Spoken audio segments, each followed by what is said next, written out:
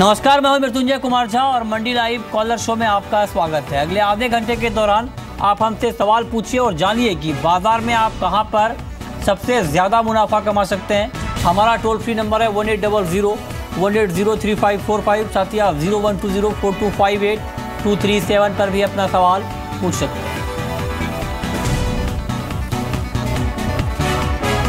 सवाल जवाब का सिलसिला शुरू करेंगे लेकिन उससे पहले नज़र बम्पर कॉल पे कि तीन ऐसी कौन सी कॉल हैं जहाँ पर आप आ, सबसे ज़्यादा प्रॉफिट कमा सकते हैं। आज की पहली बम्पर कॉल है आई की गोल्ड जहाँ पे तीस नौ सौ के स्तर पर बिकवाली की कॉल है। तीस सात सौ का टारगेट होगा।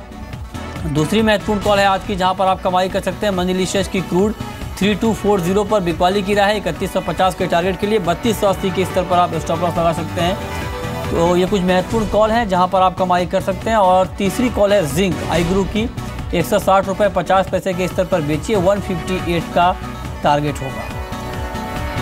और अब बात कर लेते हैं चने की, क्योंकि चने की कीमतों में जोरदार तेज़ी आ गई है और दिल्ली में चने का भाव रिकॉर्ड दस हज़ार दो सौ रुपये प्रति क्विंटल के स्तर पर पहुँच चुका है। आपको बता दें कि कल के मुकाबले आज भाव करीब छः सौ रुपये तक बढ़ चुका है दिल्ली में। और बीकानेर में भी कीमतों में करीब चार सौ रुपये की तेज़ी आई है। अट्ठानवे सौ रुपये प्रति क्विंटल के स्तर पर चने का भाव पहुँच चुका है। सोमवार के मुकाबले अराइवल में दिल्ली में 225 टन की कमी आई है और आज 300 टन चने की आवक है, जबकि कल यानी सोमवार को 525 टन की अराइवल थी, उसका इम्पैक्ट आज दिखा है।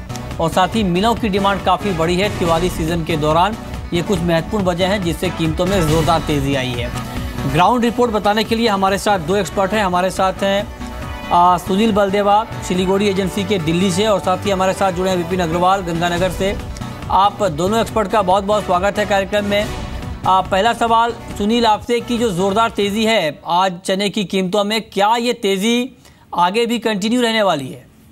नहीं मृत्युंजय आगे बिल्कुल तेज़ी नहीं रहेगी। ये तेज़ी थोड़े दिनों की है। उसके जैसा आपने एक बताया थोड़ी बहुत दीपावली की वजह से। लेकिन उससे ज़्यादा जो डिमांड है वो बीज के लिए डिमांड है कि बढ़िया माल जो है वो किसान ले जा रहा है क्योंकि बारिश सब जगह हो चुकी है और खेती के लिए उनको बीज चाहिए जो कि बीज अवेलेबल नहीं है और खेती इस बार बढ़ने की उम्मीद है। तो चारों तरफ़ बीज की बहुत बड़ी डिमांड होने से ये ज़्यादा तेज़ी है अभी जो देख रहे हैं आप। और ये अभी पाँच दस पंद्रह दिन और रह सकती है जब तक बीज की डिमांड रहे। और थोड़ी बहुत ये दीपावली की हालाँकि ज़्यादातर दीपावली की जो सेल है वो अब कम हो चुकी है। हाँ। तो वो थोड़े दिन और रहेगी तो हो सकता है दस पंद्रह दिन और ठीक रहे लेकिन आगे आने वाले चने काफ़ी मंदे हैं। ठीक है। जो अक्टूबर शिपमेंट वहाँ से दो शिप वहाँ से वेसल ऑस्ट्रेलिया से लोड होने की उम्मीद है। हम्म। जो कि यहाँ पंद्रह बीस नवंबर तक पहुँच जाएँगे। उसका माल करीबन पैंसठ सौ रुपए की पड़े पोस्टिंग का है वो उसी भाव बिक रहा है। ठीक है आपका कमेंट क्या होगा विपिन? क्या आपको भी लगता है कि सप्लाई क्रंच है और आगे सप्लाई बढ़ने से दाम कम होंगे? बिल्कुल मृत्युंजय ऐसा ही लगता है। सुनील जी भी जो बात कर रहे हैं वो बिल्कुल ठीक कह रहे हैं। एक्चुअल में अभी जो है एक तो त्योहारी डिमांड की वजह से इसका भाव ऊँचा हुआ हुआ है।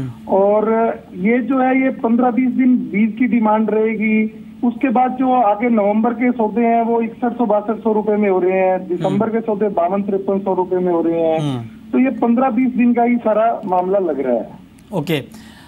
सुनील बलदेवा दिवाली के बाद या फिर दिवाली तक आप चने को चने के भाव को कहाँ तक आता हुआ देख रहे हैं? ये करीबन साठ और पैंसठ के भाव में जाके सेटल हो जाएगा क्योंकि सप्लाई जो है केवल ऑस्ट्रेलिया की रहेगी और अपनी फ़सल क्योंकि बीस दिन लेट हो गई है बारिशों की वजह से आंध्रा और कर्नाटका और महाराष्ट्र में सबसे पहले फ़सल आती है लेकिन वहाँ पे अभी बिजाई चालू से बराबर हो रही है। तो ऐसा लगता है जनवरी फरवरी तक चना जो है साठ पैंसठ के भाव में टिका रहेगा और उसके बाद नए साल की जो नए सीज़न की जो प्रोडक्शन रहेगा उस पर डिपेंड करेगा। यानी आप करें कि 6000 से पैंसठ सौ के स्तर पर चना एक बार फिर से आ सकता है। यानी करंट मार्केट प्राइस से करीब आपको साढ़े तीन से चार हज़ार रुपए तक की गिरावट कीमतों में एक से डेढ़ महीने में दिख सकती है। बिल्कुल नवंबर और दिसंबर में बिल्कुल आनी चाहिए। ठीक है नवंबर दिसंबर में यहाँ तक भाव आ सकता है। बहुत बहुत शुक्रिया सुनील आपका और विपिन अग्रवाल आपका भी ये बताने के लिए कि आगे चने के दाम कहाँ तक जा सकते हैं। एक बड़ी खबर चने में जोरदार तेज़ी आई है लेकिन जानकार ये कह रहे हैं कि आगे चने में तेज़ी नहीं टिकेगी। चलिए आगे बढ़ते हैं। अब शुरू करते हैं सवाल जवाब का सिलसिला। हमारे साथ गुप्ता जी जुड़े हैं गोल्ड और सिल्वर पर सवाल पूछना चाहते हैं। पूछिए। Good evening sir good evening पूछिए। सर, जी गोल्ड सिल्वर का क्या हो रहा है? उलट फलट देखने को मिल रही है, सर। जो जोरदार तेज़ी में ठीक है गोल्ड और सिल्वर का आउटलुक आप जानना चाहते हैं। हमारे साथ शिव श्रीवास्तव हैं आई ग्लू के एमडी शिव। क्या कमेंट है आपका बुलियन पे? जी देखिए अगर बुलियन की बात की जाए तो बिल्कुल हमने देखा है इसमें काफ़ी उतार चढ़ाव हो रहा है। डॉलर की उतार चढ़ाव से इसमें हमने देखा है कि काफ़ी वोलेटिलिटी बन गई है। लेकिन ओवरऑल अगर शॉर्ट टर्म की बात की जाए तो मुझे लगता है कि थोड़ा सा डाउन साइड ही है और इंट्राडे में भी मुझे लगता है कि जिस तरह आज हमने देखा है डॉलर इंडेक्स में काफ़ी तेज़ी है। तो मुझे लगता है कि आज इंट्राडे में इसका ट्रेंड भी डाउन साइड ही रहेगा। ओवरऑल मीडियम टर्म की बात की जाए तो मुझे लगता है यहाँ से तीन सौ रुपये से लेकर चार सौ रुपये तक का हम इसमें डाउन साइड देख सकते हैं गोल्ड में आने वाले दिनों में। ठीक है। अगले कॉलर हमारे साथ राहुल हैं लखनऊ से। पूछिए राहुल।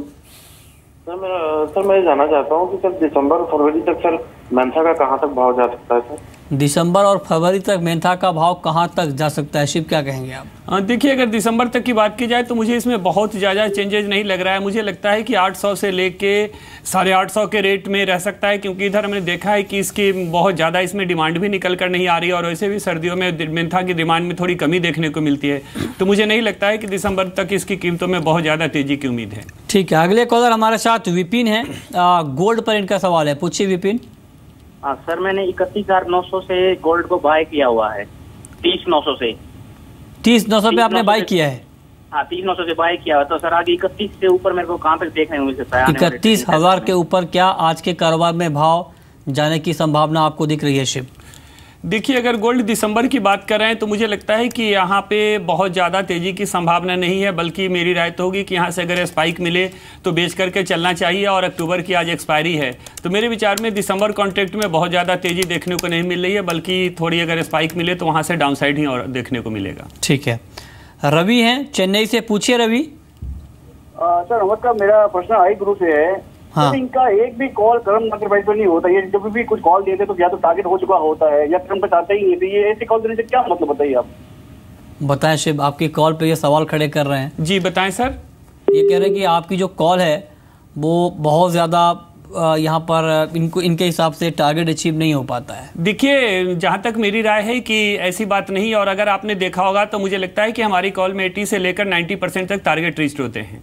और रही बात अगर रेंज की तो मार्केट में जो भी कॉल दिए जाते हैं वह कहीं ना कहीं करेंट रेट पे नहीं दिए जाते हैं। उनमें कुछ ना कुछ ऊपर और नीचे का एक रेंज ज़रूर शामिल होता है। बिल्कुल, और बिल्कुल ये सही बात है कि अगर मार्केट में हंड्रेड परसेंट कॉल अचीव हो जाए, ये किसी भी एक्सपर्ट के उसमें नहीं होता है कि हंड्रेड परसेंट कॉल अचीव हो जाए।